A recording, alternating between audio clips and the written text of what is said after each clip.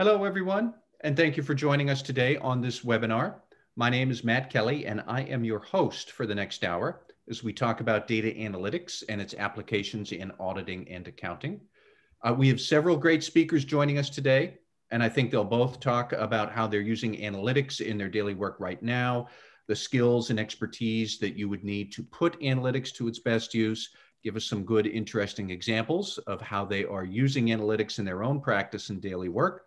Um, and we have, I believe, more than 350 people registered for our webinar today. So this should be a great and lively discussion. Uh, first, let me introduce our speakers for the hour. Uh, um, first, we are going to have Pranav Ghai. He is co-founder and CEO of CalcBench. Pranav does plenty of analytics already today in his work uh, at CalcBench. And then prior to CalcBench, he had also worked on analytics and financial research at Morgan Stanley, TIAA, and ITG.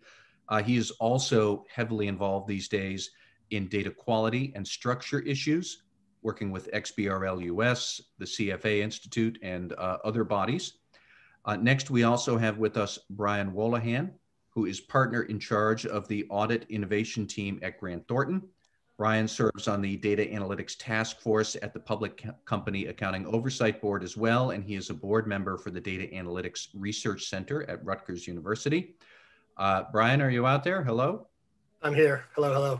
Glad to have you. And uh, we'll also have with us Vern Richardson. He is the Distinguished Professor of Accounting at the Walton School of Business at the University of Arkansas. Vern has been working in data analytics for many years and literally wrote the book on data analytics, which is aptly named Data Analytics for Accounting. Uh, so Vern, hello and welcome to you too. Hey, thank you. Thanks for uh, hosting this session. We're excited. Sure. And so a quick order of our events here for the hour. Uh, Pranav is going to begin with a few welcoming remarks. Uh, he promises to be brief so we can get right to our guest speakers. Then we're going to shift over to Brian. He is going to talk for maybe about 15 or 20 minutes on the power and potential of analytics in auditing. And he's going to give us a few whiz bang examples of what he's doing, doing in his work at Grant Thornton. Uh, then we'll switch to Vern for another 15 or 20 minutes on how you can develop the right skills and expertise for analytics. And also, Vern says he's going to show us some examples of the whiz bang projects that he is working on in his teaching work at the University of Arkansas. Uh, after that, We'll go and uh, work our way through Q&A as often as possible. Um, you can submit questions anytime in the hour, and please do so. We'd love to have them. Um, actually, in fact, let me just go through a few housekeeping details here before we really formally get started. The webinar is being recorded. Uh, everybody who is listening today, you are muted by default. Uh, as I said, we love questions, so submit them anytime using the Q&A function on your screen. Uh, and then we will get to those either at the end of the hour or if there is a particularly apt question, we might drop it in and try and answer it live. Uh, and for anybody who is curious, unfortunately, we are not offering continuing education credit for this particular webinar, uh, but we still plan to have a, a, lot of discussion going on here. So with that, uh, Pranav, if you are out there and you want to give us our welcoming remarks, we're, we're happy to hear what you have to say and get rolling. Thank you, Matt uh, welcome to everybody. Uh, thank you for joining us this afternoon. Um, last fall, we hosted our first webinar at CalcBench on goodwill and impairments. And uh, that was with our friends uh, PJ Patel at uh, Valuation Research Corporation and Dan Gode, who's a uh, chaired tenured professor at the Stern School at NYU. We were unsure how the webinar would be received given, you know, Zoom fatigue and the environment. But our clients loved it and asked for more. So here we are today with our second webinar, and we hope that you find it as informative as the first. A bit about CalcBench before we get started. Uh, my co-founder, Alex Rapp, and I founded uh, the company believing that there were other people just like us that had used sort of the standard products in their work lives, things like FactSet and Capital IQ, you, you know who you are, and uh, always found something missing from those platforms. So we set out to sort of fill the gaps. And uh, many of the things that we do and the uh, questions that we ask and the answers to those questions are, are hidden sort of in the dark corners of the financial statements and the disclosures. Uh, commonly, you know, in the vernacular, we refer to those as footnotes. So we, we built CalcBench, you know, to make it easier to access all of that data in the footnotes, uh, textual, numeric, whatever it is. And so now, almost a decade later, uh, we're thrilled that our financial platform has uh, it's helped so many people go deeper into their own financial analysis. So we've got FP&A users of Fortune 500 companies using this, portfolio managers and research analysts at big major asset management firms, and that's both on the hedge fund side and the traditional space. We've got auditors at top accounting firms here using this. We have regulators, and of course, uh, you know something that's very near and dear to our hearts. We've got professors in major universities using CalcBench, and you'll hear from Vern uh, about things like this later uh, in in the hour.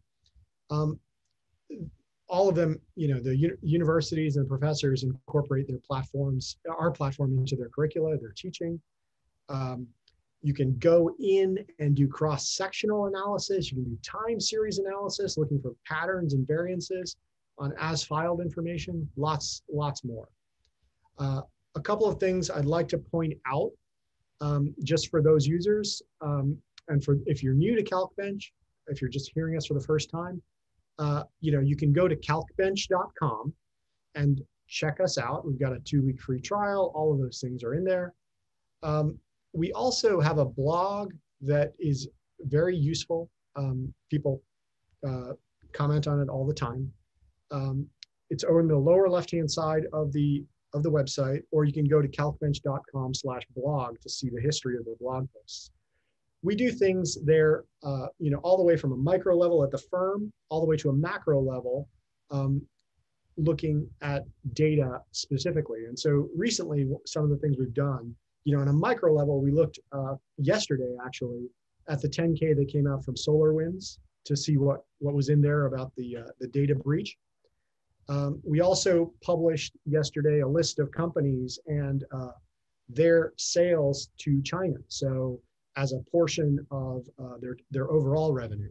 So these are things that over the years have gotten more and more attention from people. And so we thought we'd write about them and highlight those things. In addition, uh, CalcBench has been featured in a couple of recent Wall Street Journal articles that you might find interesting. Uh, one on February 23rd uh, about COVID adjustments to earnings. And yes, we've got that data.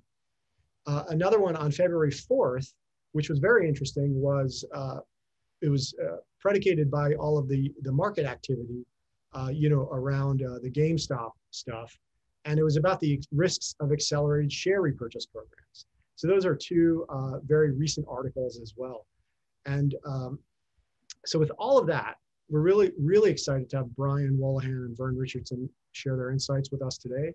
We're thrilled to have Matt Kelly of Radical Compliance moderating it. And, uh, and, and I'll just turn it over to Matt now. Thank you very much for joining us today. Uh, yeah, thank you very much as well. Let me call up the slides again. I had a small technical failure here, but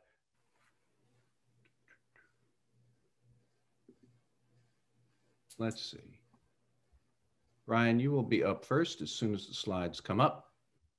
All right, perfect. So um, I will lead off then with um, just kind of a quick, quick introduction to um, not just what we're doing in, in audit today, by way of innovation, but more importantly, the why. Um, I think particularly for, uh, for our audience today, um, having that, that framework to understand why we do what we do uh, in audit in particular will be very, very helpful. And um, um I'll, I'll, point to the, the top right corner of this slide just for starters.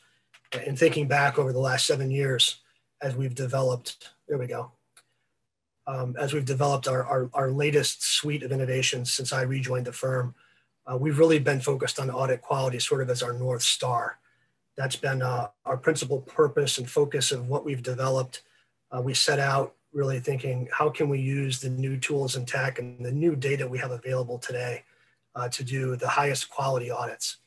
And uh, we began looking at full population analytics, uh, coined a phrase, whole ledger analytics, which is now sort of a, a pervasive uh, term uh, in, in, the uh, profession. Um, and uh, in doing that, found, found that the, the samples that we were pulling, the items we were testing were more meaningful. We were finding uh, notable transactions instead of, you know, testing items that didn't seem to have a whole lot of purpose under a random approach.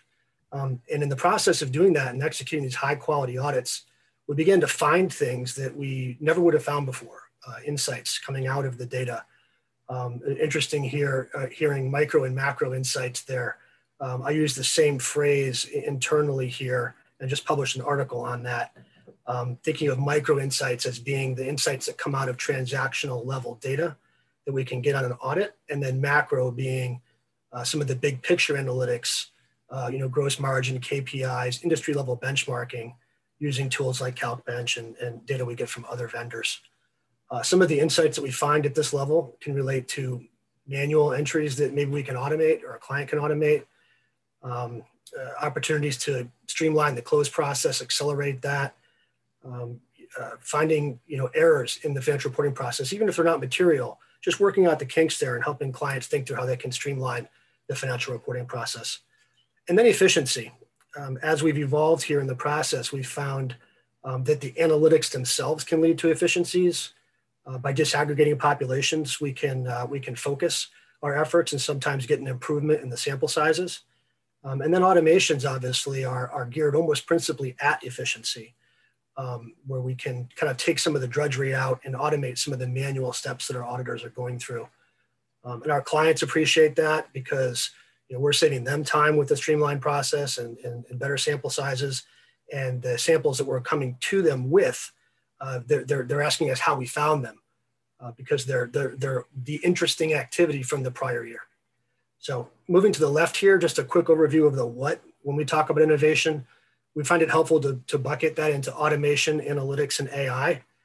And I've, I've been on a bit of a mission to uh, demystify some of the buzzwords in the space. And artificial intelligence, in my mind, is really just sophisticated, automated analytics. So it's not self-aware computers at this point, um, but um, uh, but rather just really a really good analytic. In the middle here, our final point on this slide is uh, the how. So we think of people, process, and tech as driving all of this. And the process and the tech I found to be a lot easier. Um, the, the, the, difficult part for the profession has been uh, doing audits in a new way, uh, embracing tools and tech that require a level of effort to, to get to understand, to deploy, to interpret, uh, to understand the, the, risk, the risks that come with uh, various innovations and the opportunities that come with them. And, um, and, and having those be in a position where, where there's a level of comfort with the regulators with those new, new tools. So that's kind of a quick overview of, I wanted to hang this whole conversation uh, on these benefits of quality, insights, and efficiency. We can go to the next slide. Let's see, there we go.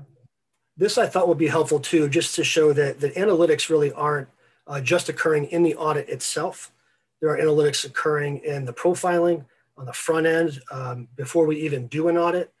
We're running predictive analytics that can identify outsized risk in a portfolio of companies.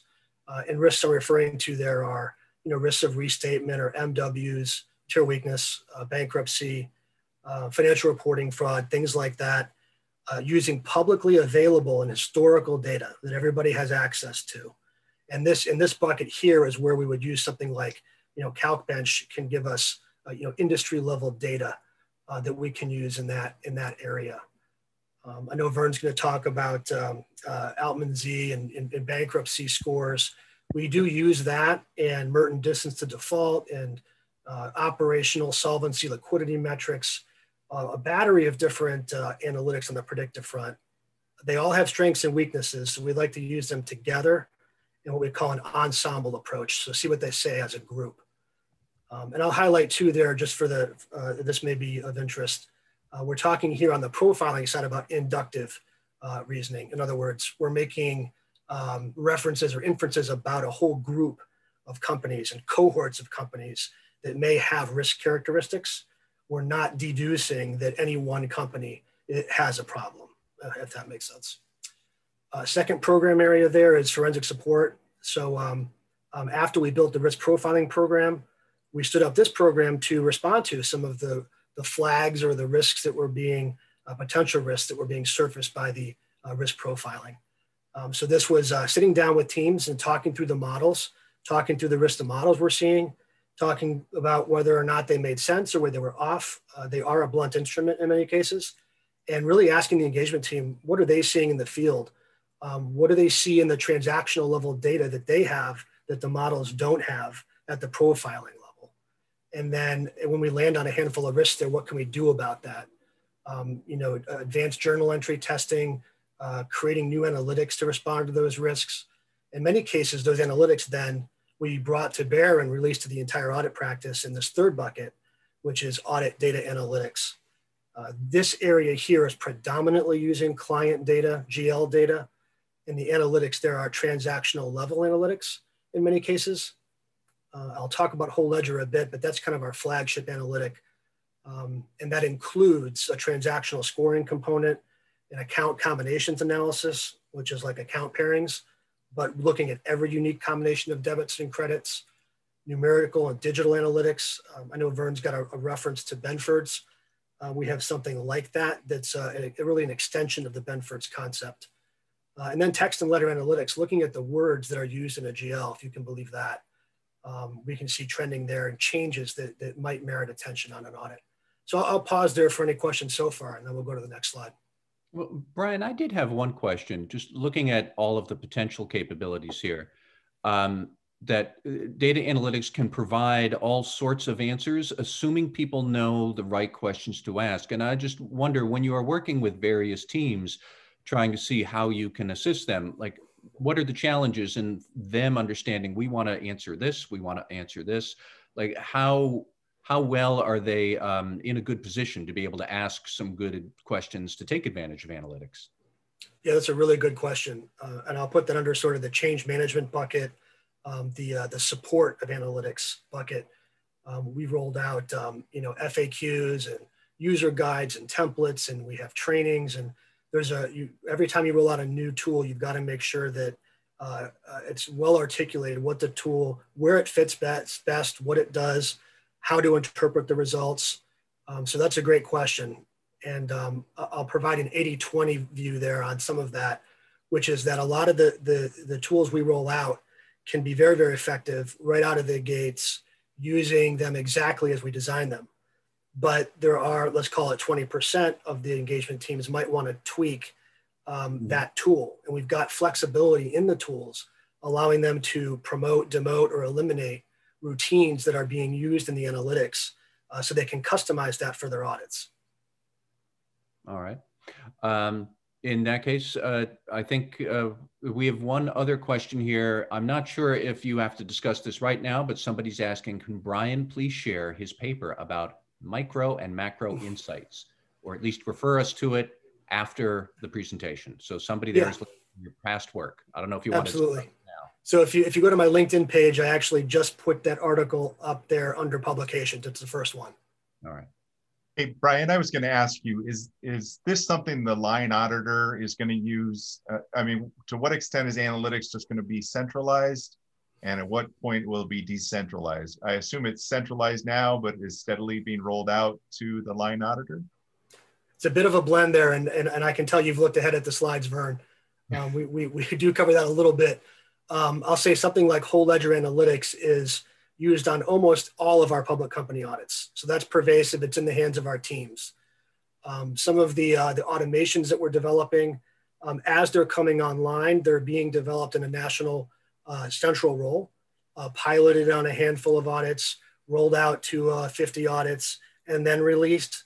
So many of the innovations are moving through that, that life cycle uh, from uh, a centralized development or even an engagement team development and to a, to a national rollout. Mm-hmm. Thanks.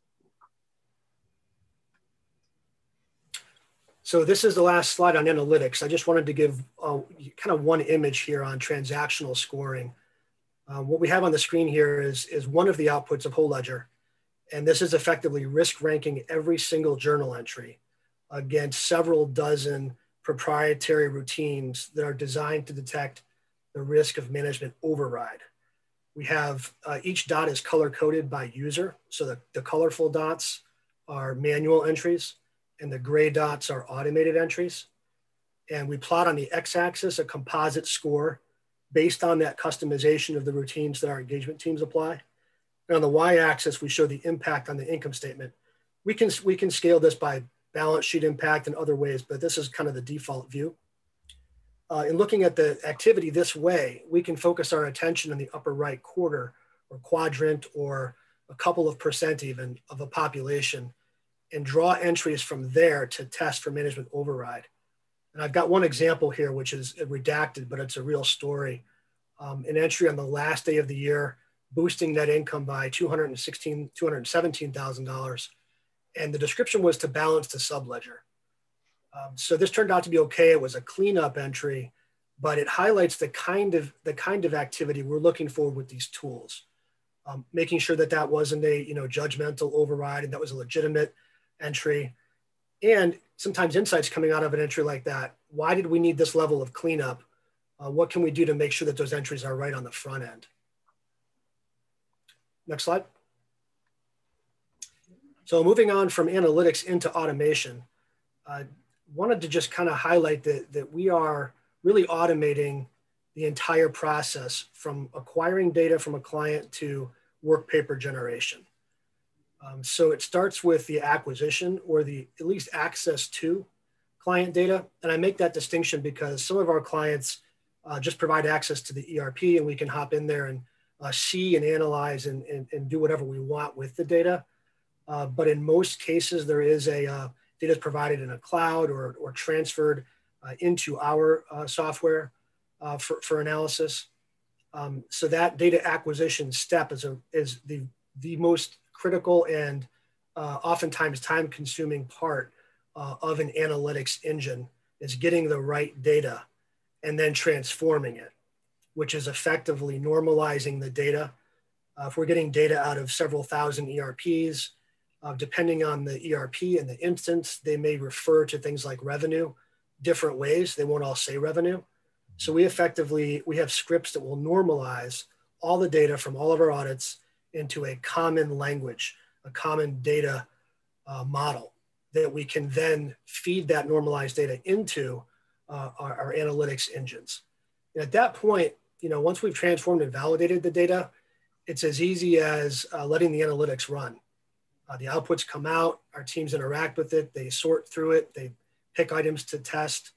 Um, we also here on the top in the, uh, what is that, the uh, fifth node re reporting, uh, automated work paper generation. I use the word report there loosely because that can be work papers, it can be spreadsheets, it can be visualization.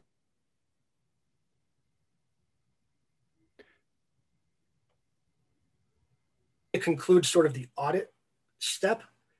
Uh, then when we get into augmentation, what we're doing is providing a feedback loop where auditors can look at the outputs there and say, hey, this item was flagged or this item wasn't flagged and it should have been or shouldn't have been and we can take that feedback back into the analytics engine and improve that for the next year. And then benchmarking is capturing, you know, you've got this, um, you've acquired, transformed, and analyzed and, into standardized reporting uh, work from thousands of audits in an anonymized, redacted way that can provide a powerful set of data for understanding risks across a portfolio of similar companies. Brian, can I ask a question? Um, when we're looking at this slide here, the extracting and the transforming and the validating, what are the, I guess, the protocols or the, the safeguards to make sure that we do have the completeness and accuracy of the data is maintained as we're validating and transforming it into something suitable for analytics. But how do we make sure that we're still looking at the original apples for an apples to apples analysis? Yeah, that's a great question. So there's all of the sort of traditional, you know, reconciliations and cross checks and uh, you know, validating the number of entries is right according to what was in the ERP, mm-hmm. uh, making sure it ties to the trial balance, all of that stuff that we've been doing for 100 years. We're doing the same thing, but we're doing it with scripts. Um, so we've taught the bots to do that for us instead of having to do that manually.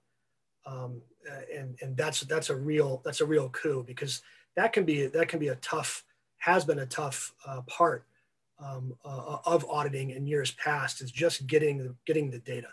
Yeah. Anything else on that one? No. Next slide, please. Okay, so uh, the topic du jour. Uh, what do our what do our auditors need to know how to do? How can we prepare this next generation of, of auditors and, and, and uh, in analytics and automation and things like that. Um, and Vern, I'll, I'll, give a hat tip to, uh, to your framework here. Um, I, have developed this before you and I talked, and, and I'm seeing tremendous similarity in, in this list in your framework, which is much simpler and easier to remember. Um, but um, when I think about what our auditors need to be able to do today, it's, it's asking the right questions, as, as Matt said, and then thinking about what data might exist to help answer those questions. What analytic techniques can be brought to bear to answer questions? And I put a note in here to just listen to what the data has to say. Uh, I wanted to highlight that we don't have to go to the data with a question the way we used to have to do. We can slice and dice the data so many different ways and see what surfaces. We might see, see insights coming out of that, that approach that we would have never thought to ask. So it is a combination now of asking questions of the data, but also just listening to the data. Sharing the results, telling stories about what the data means, helping folks that maybe aren't as familiar with analytic techniques to understand what the analysis is saying. Uh, coding, you know, writing or at least being able to edit scripts in, in multiple languages or one language, um, and learning new languages. I will highlight we are language agnostic, uh, coding agnostic. In fact, there's a lot of uh, tools out now. We, we think of them as coding for non-coders. Uh, coding has been made so easy by uh, some of the new new software packages out there now, like like Alteryx. Um, communicating questions uh, when you have an analytic looking at the results and asking the people uh, that, that may have insights into that output, uh, kind of what might be going on in there, and then maybe often iterating and, and going back to the data with new questions. Uh, collaborating with people of different perspectives. This is more important than ever because the world has gotten more complicated, the data has gotten more complicated, and uh, having multiple skill sets coming to bear accounting and auditing skills and finance skills, data skills, automation skills, analytic skills uh, together to create innovations is really a very powerful combination that's harder to find in one person uh, today than it was uh, in the past. Um, managing projects with multiple dependencies. I mean, audit is really a, a project management exercise and developing new innovations is too. Knowledge of US GAAP and audit standards, uh, certainly important. And I know Vern's gonna touch on this, but I feel like there's room in the profession now for, for uh, more folks that aren't CPAs. Um, and that's where I've got these skills at the bottom that I think are incredibly helpful today. Uh, all under the banner of data manipulation skills exhibited via proficiency with these kinds of uh, tools. And I don't want the I don't want to limit the list to this, uh, what's on the page, uh, but effectively the first row is dealing with large data sets, understanding how to to load and populate normalized data.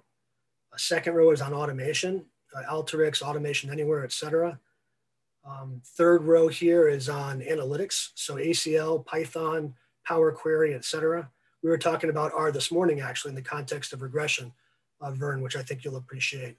And then lastly, the, the, the visualization engines, Tableau, Power BI, Qlik. There's multiple packages out there. Uh, we use Power BI a lot because we can publish to our whole firm in one click, um, where we can't do that in Tableau as easily. But um, but really, any visualization engine that helps you tell stories is a plus. So I'll pause there for questions on that. So Brian, probably following up on my earlier question and maybe help me in a little bit later, is this required of 10% of auditors, 100%, 50%? And, and when do we get to steady state? I mean, does everyone need to know this? Is this a special office centralized or? Yeah, that's a that's a great question, and and uh, my final slide will allude to that a little bit.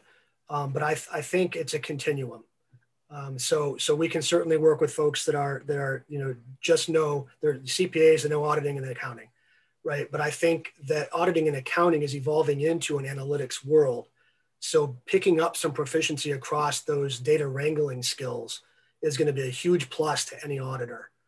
Um, and conversely, we can hire folks that aren't CPAs but are really, really good at, uh, at wrangling the data and building tools. Um, so what I'm showing on this screen here, you, you, Vern, you asked about a national office. If you look at the gray column in the middle, um, you can have a, in my case, we've got a centralized innovation team um, that uh, develops tools and rolls them out to the practice. If you move down one row, you may have engagement teams, which are, are spinning up innovations, uh, most commonly for a lot of firms, automations um, uh, using Alteryx, which is, like I said, very intuitive and easy to use. So engagement teams that aren't in the national office might be creating innovations. And in many cases, we can, we can take those and scale them and roll them out to the whole practice. And then at the bottom here in the, in the center column in gray is um, what every engagement team is going to see. They're going to see whole ledger analytics. They're going to have access to automations, work paper automations for revenue, inventory, fixed assets, all the, the common work papers. So it's really a continuum. And depending on where you start and uh, how you move through your career, you can end up in any one of these three buckets for audit or tax or advisory. So that's it on, on my slides. I'll, I'll, pause there for questions and, and, kick it back to Vern. You know, uh, we have a stream of questions coming in, and I think I'll try and save most of those for the Q&A portion at the uh, end of this here. Um, so anybody listening, if you do have questions that are on your mind, by all means, type them, submit them. I've got a stack of five or six or seven already that are piling up. Vern, if you want to pivot into uh, your turn at the, in the cockpit, go right ahead. Great. So we've gotten a, a, good example of, of the skills that are needed, the analytics that are performed at various levels. And I guess academe, we kind of take a more basic view and just say, how did we get here? And uh, so just looking at the global uh, data sphere, uh, we see that data is increasing and we see the machines are becoming more powerful. So between data availability and uh, the changing machines, we're seeing a changed world. So we see that the number of zettabytes increasing and continue to, to increase at a very quick level. And the statement that accounting uh, could be argued is no longer the de facto provider of information regarding the firm or firm performance. We're not the only providers anymore. There's a lot of information out there that's outside of just the accounting or the financial statements. Then on the right really talks about computers, and this is now a pretty old site, but uh, two authors, Frey and Osborne, uh, essentially said, "Hey, we know uh, computerization or machines are coming. Uh, what's the chance there will be job losses?" And and you know, I'm one that doesn't believe accounting will go extinct, uh, but I do believe accounting will change. And so, if you're an athletic trainer, machines aren't going to change your job. Uh, but if you're a telemarketer or accounting or an auditor, 94% chance of job losses within the next two decades. So that kind of sets us up. These two changes are changing our jobs. And, and looking at uh, this is uh, look closely. This is, this is the AICPA's 2019 Accounting Graduate Supply and Demand Report, and this is trends in new um, bachelors and masters of accounting hired into the accounting and finance function. And so you can kind of see the purple line there on top uh, is uh, the bachelors. Uh, the blue line there is the ones those with master's degrees in accounting and then it's the total non-accounting. And uh, and so we just see this this surge. And we would argue many of us that this is data science and and on uh, econ and, and other areas that are being brought in. And perhaps the accounting finance function is changing or perhaps there's an emphasis on machine learning or, or machines computerization and data and and uh, harnessing that data. And so as we look at those we see the world is changing. So some of you have been in kind of educational psychology or familiar with Bloom's taxonomy, and this is critical thinking skills. Starting at the bottom from remember, and if you remember kind of what we learned in high school, uh, a lot of it was memorizations. Even undergrad is often memorization, and then it goes to understand and apply and analyze. But the first three levels, the re- remember, understand, and apply, are where machines excel. That's machines can remember. They can follow road instructions. We can program it. Hey, they're really they're better remembering than I am. So we need to move up our game to the more critical thinking skills. So as academics, we think, hey, where do we need to play and where do we need to train our students or our graduates to analyze? Okay, analytics, right? Analyze, evaluate, and create. That's where we need to play. It doesn't mean we don't have to take intro accounting and don't have to know the debits and credits, but it does mean we've got to move up the learning curve and, and, and get uh, quicker to those analysis skills. And so those are the skills we need to develop. So uh, we also know that the role of the accountant is changing. Uh, before we were the, the de facto information provider. If you needed information, you'd go to your accountant. And now frequently there, with so much data out there, our roles are changing uh, between us and, and the decision maker. Uh, you know, essentially we're going to be the interpreter. We're going to be the go-between. We know what the management questions are. We know what data is available. We know what the data can provide. We can go and speak with the analysts for the data scientists and extract and get that data. But we've got to have all those skills. Now we're going to be writing code every day, probably not. But are we actually going to be, you know, uh, discussing and interpreting and trying to answer questions? Absolutely. So we see our role changing there. And so, uh, with all these new skills needed, how are we changing accounting curricula? Okay, so I'm an accounting professor, been working at this for 23 years or so. And um, essentially, this is the first net new course in accounting in 30 years. So the classes I took in 1987 at BYU are, are pretty much the same courses I take now. And, uh, and so how are we teaching these new skills? Well, as of a year or so back, our textbooks hadn't changed for 30 years. Our courses hadn't changed in 30 years. The CPA exam hadn't changed much in 30 years. Professors don't use data in the course, even Excel. We don't use regression. We don't do classification. We don't do bankruptcy prediction. We don't do profiling. We don't do forecasting. We're really good at measuring the past, but not so good at predicting the future. So bad at forecasting. Uh, we may or may not cover Benford's Law. We may talk about XBRL, Go Calcbench, you know, essentially talking about you know the data that's available out there and it wasn't really covered or even the etl which stands for extract transform and load is getting access to the data do we teach sql do we know how to access big data? Do we use you know power query or power pivot? Do we know how to, to access big data sets? How do we deal with missing data? Can we even use vlookups? You know those types of things. Really not. But there's been an incredible movement in the last two years. And and essentially um, we are moving that direction. I would say 75% of accounting programs now cover analytics at some level. And the AS, AACSB, the, that's the association, the, the accreditation body for business schools and for accounting programs, essentially now requires uh, covering technology and analytics. The CPA exam is changing. You know, more details are coming out all the time covering analytics. So we're on our way uh, to getting there. And so uh, I'm the one that believes that every accounting course will be infiltrated with analytics, every single one, and um, that it's coming. Uh, and so we're, we're starting to get there. You know, when you come and try to uh, develop uh, a, a, new course, first net new course in 30 years, you need to provide a foundation, a basis, a, a theoretic frame of some sort. And this is the easiest one I could come up with called the AMPS model. AMPS model is ask the question, master the data, perform the analysis, share the story that Brian referred to earlier. And essentially, this is a way of thinking. We have a question. Can we carefully specify that question? Can we go get the data? What data is appropriate? Will it be financial statements? Will it be cost accounting data? Will it be standards? You know, will it be, um, you know, social media data? Will it be macroeconomic data, stock market data? What is, what are we going to use? Then we're going to perform the analysis. So we're going to do um, descriptive analytics, diagnostic analytics, predictive analytics, prescriptive analytics, some sort of machine learning. And then how are we going to share the story? How are we going to communicate the results, uh, perhaps in visualizations or otherwise? And so this is kind of the foundation that we've made uh, in, in, our books uh, uh that we were publishing and, and starting to get out there in the field in this area. I really wanted to highlight, maybe, maybe I'll stop there. I'm not as good at Brian as stopping, but any questions to this point, Matt or, or Brian, that uh, would help? Let me take a breath, I guess.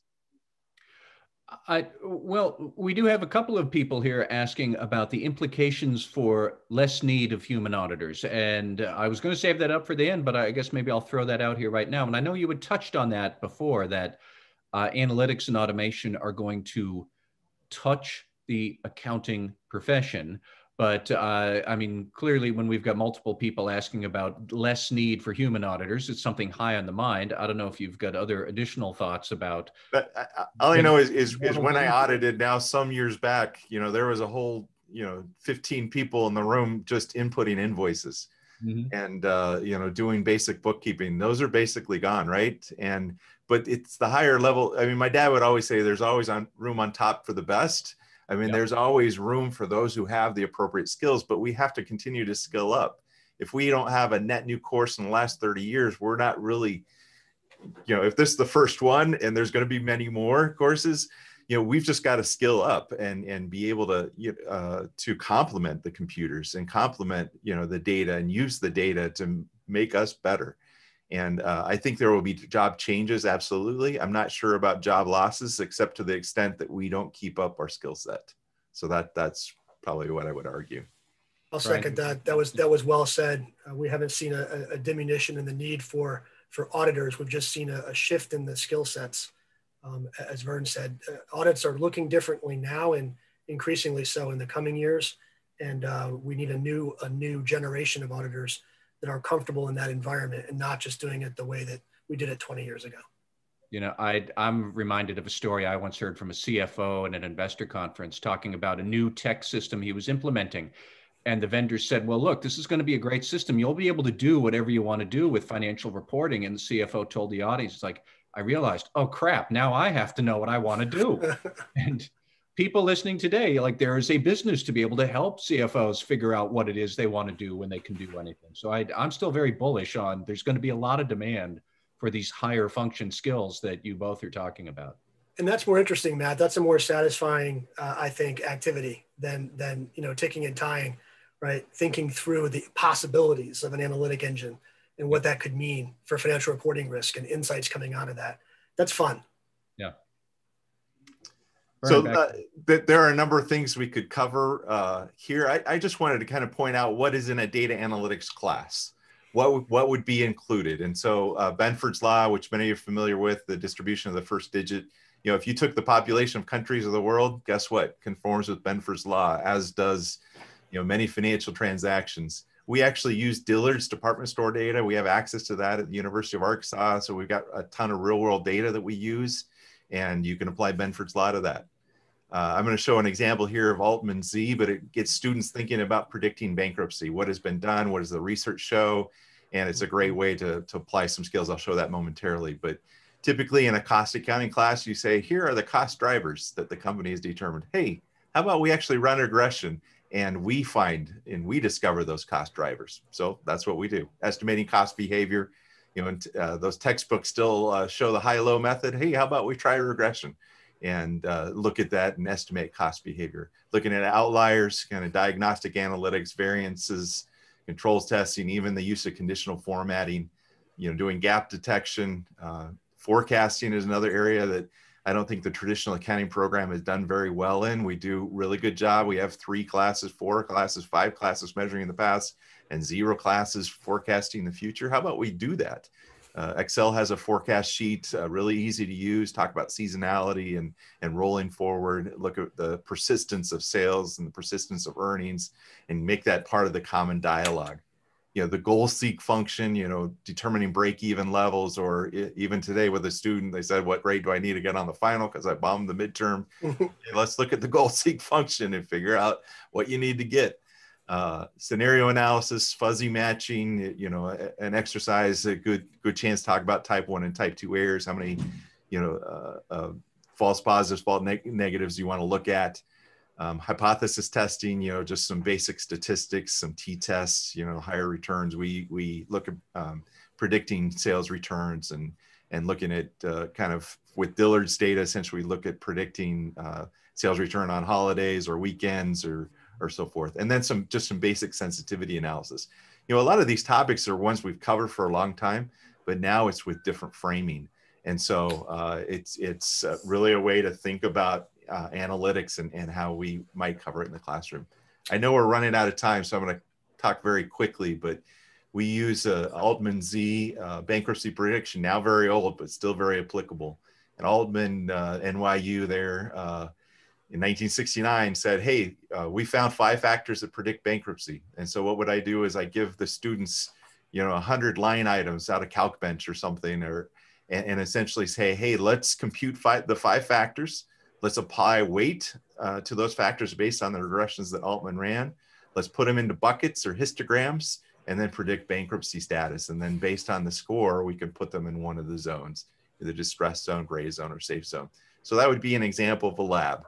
And that lab, we do 50 or so of those each semester of those labs, uh, predicting all sorts of things or, or uh, prescriptive analytics or so forth. So that's an example of what we might do, and uh, example in in uh, in one of my textbooks. So uh, I think that uh, is where we're at, and so I'll open it up for questions. We, we have a bunch of questions Matt, here. if you want to go back two slides, I had a comment there I, I, I couldn't resist making here. Go back one more. So if you if you look here at uh, at Benford's law, um, I wanted to highlight that Benford's law applies really really well for naturally occurring number sequences in, in nature, but Mhm. may not apply really well for a company. Uh, if a company sells everything for nine dollars and ninety nine cents, for example, you're going to get a lot of nines, and that you won't see in a naturally occurring number sequence. So when I mentioned derivations of Benford's, what we're doing there is we're using com- the company's own data from prior years to create a Benford's context to Yeah, normalize the current year Benford's against the company's own data. That's clever. Which is yeah, very, and that's very great expectation. That's diagnostic analytics, setting an expectation and then seeing departure. So excellent.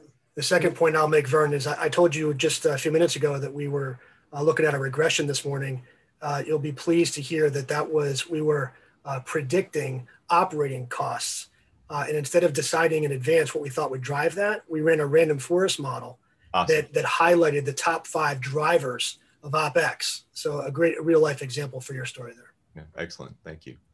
So So we just really quickly, very just one second. Um, all of this, the the great thing about all of these techniques is it requires the input of world class, you know, data to to do to do these things. And with uh, with the advent of XBRL and you know tools like Calcbench, the input is just there. Now all you need to do is to consider, you know, is the stuff coming in clean enough to run the analysis?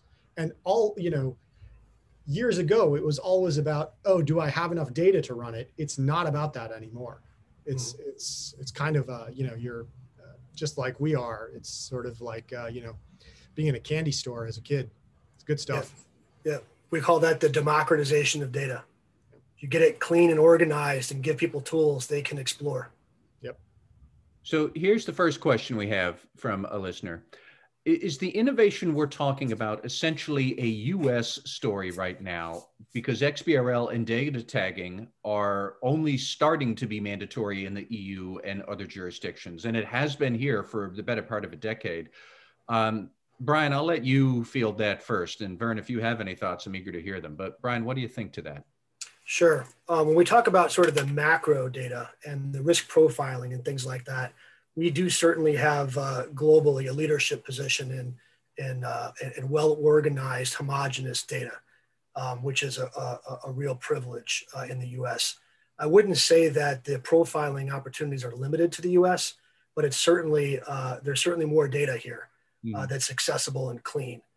Um, then when you look at the micro data and, and, and, you know everybody's got a GL, so you can use some of our you know whole ledger analytics and other uh, engagement level analytics anywhere in the world. Um, you do run into nuances with with language if you're using text analytics, understanding characters versus letters and things like that. But um, but yeah, it's a continuum. Uh, certainly not limited to the U.S., but it's this is definitely uh, it's easier here with the with the with the macro data at least. Uh, Vern, here's another question that I think might be more up your alley. Somebody is asking Do you see a difference in the skill sets needed for assurance and audit students versus valuation projects and uh, evaluation track for students? We, we don't really differentiate it that way. Obviously, a different set. I mean, I would guess auditors would be more diagnostic analytics, and I would guess valuation would be more predictive and prescriptive analytics. Would be their expectation. Uh, you know, I would guess more forecasting would be needed in valuation than than in audit. Uh, we don't really treat them that way. We say we think you need to know it all. At least at this point, we know we're early on. I mean, we're writing first and second editions of textbooks that we know will change dramatically in the future. And I think we'll be able to specialize. But what's happening now in the textbook world is the analytics are starting to be spread to the, the individual topic areas, the, the cost accountings, the financial statement analysis, the audit class, instead of just an overall course. You know, funny enough, we just have a comment from a listener here saying, I think the solution is including data analytics across the curriculum. So instead of creating new courses, change the way these courses are taught and presented, which seems like it's right up the And, alley. and I just have a very quick question. Uh, comment is that the the roadblock is professors. It's professors that have taught the same course for 30 years, same using the same PowerPoint deck. Mhm. Uh, because you go teach analytics and you tell someone they're going to teach Tableau or Power BI and they're not familiar with that, it's not going to happen. And so it, it it's it's just slowly getting there, uh, and and we have to have all the curriculum materials available and easy for professors to adopt. Yeah. Uh, Brian, here's another question that I think might be well suited for you. Uh, how do you see tax people using data analytics? Sure. Yeah, it's a good question. Um, it's, it's a similar blend, I think, of, of analytics and automation. Um, I would say automation is probably a little bit heavier than analytics relative to what we see in audit. Um, uh, tax is, is even more rules based than, than audit. Uh, certainly, judgment areas there that, that the tools can direct our, our professionals to to make judgments there. Uh, but I think it's a lot of automation. Okay. Uh, here's another question that uh, might be suitable for you both. Is the goal of data analytic data analytics eventually to replace traditional audit sampling techniques? How do you see traditional sampling and data analytics working together? Uh, I don't know who wants to take that first. Vern, maybe you. What do you think? Sure. Uh, you know, uh, obviously there's opportunity to sample, uh, sample the full, not, I guess not even sample, but evaluate the full population, but you still want to do it risk-based. You're not going to be able to look in detail at every, every observation. And so a lot of times you want to do some data reduction. You want to do kind of what Grant Thornton was just showing, you know, basically where you're highlighting the riskiest, largest material, you know, uh, transactions that have occurred and go back and audit those with a, a finer uh, brush. But certainly, you know, you're going to have your continuous monitoring, continuous auditing scenarios, which will kick out errors, and then you you figure out, you know, which ones to evaluate further. So. Brian, yeah, this is a, a great a great question and certainly a, a topic that I think uh, uh, regulators across the world are, are thinking through. Um, when the, the question there referred to testing 100% of populations, um, in many cases we're analyzing 100%. We may not be doing what would actually qualify as a test of details. Mm-hmm. Um, so then, uh, if it's not a test of details, where does it fit uh, in, in, in the audit framework? And it may be risk assessment, as Vern said. It may be a substantive analytic um, it may be that even after a really good SAP, we have to test a couple as a sample, yep. right? So it, right now, I think it's probably a blend, uh, but I could see a future state where the analytics receive a full evidentiary credit in, in the literature. Well, uh, along those lines, let me also ask. Um, you had mentioned a solid grounding in uh, financial reporting standards and in audit standards to pursue this uh, career. I- I'm just curious where is the PCAOB in developing reliable standards for data analytics? Because this does seem like a point where the technology is ahead of the regulatory framework to get auditing done. Um, I don't know if you have any thoughts on that, uh, Brian or Vern, if you do, but like how mature are the standards right now to, to accommodate all of this? Sure. Um, I'll, I'll, speak to that because the, the PCAOB's Data and Technology Task Force uh, was convened by the PCAOB to help think through these issues. Yep. Uh, so they've been really good about about uh, uh, asking questions here and, and seeing what the state of play is and where we could be headed. Um, as I alluded to a minute ago, everything we're doing today can fit within the standards. Mm-hmm. I just think that the standards could evolve so that the some of these advanced techniques would receive more credit than they currently do. Yeah. So, and the PCAOB has been really clear and they're correct that they're not, uh, you know, prohibiting any of this new tech. Uh, it's just a just a question of where does it fit and how much credit do you get. Yeah, Vern, do you have any thoughts?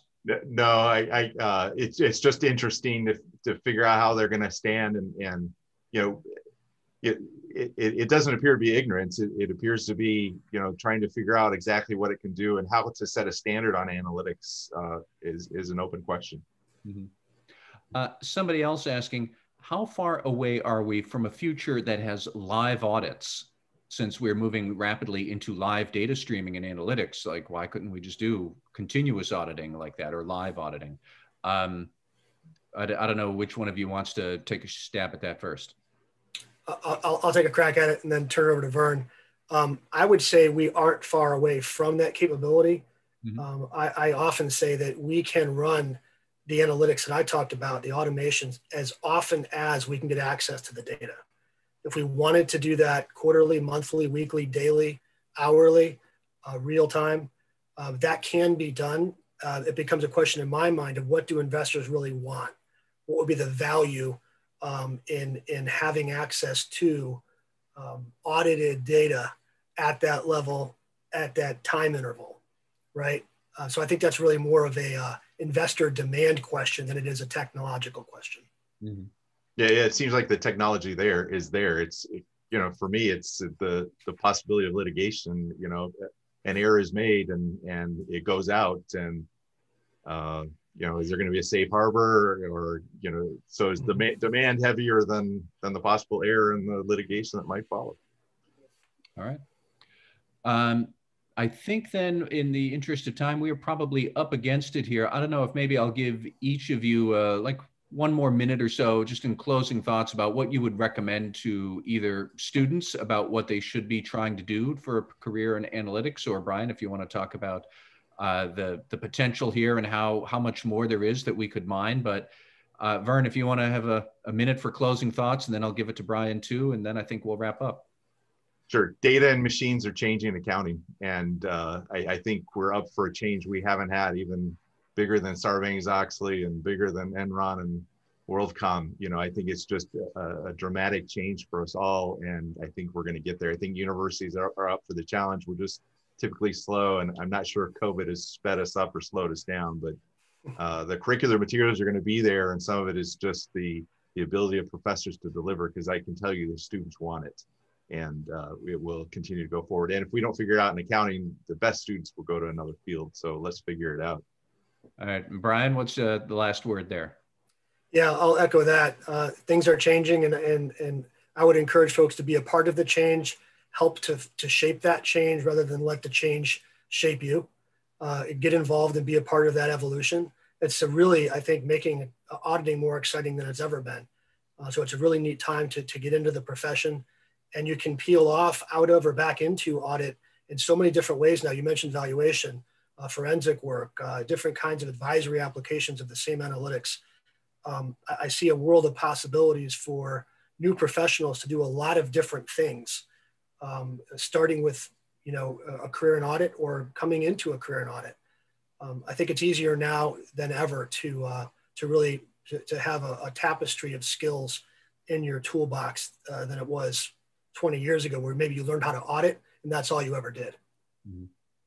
Oh, well, in that case, um, thank you everybody who has been listening. We do still have a bunch of questions we didn't get to. We'll try and ship those off to Vern and Brian after the fact, and maybe they can follow up. But Vern Richardson of the University of Arkansas, Brian Wolohan of Grant Thornton, and Pranav Ghai of Calcbench, thank you all for helping us out. This has been a great hour. I really appreciated everybody's time. Thanks for having thank us. Thank you. We appreciate it. Bye, everybody. Thank you. Thank you.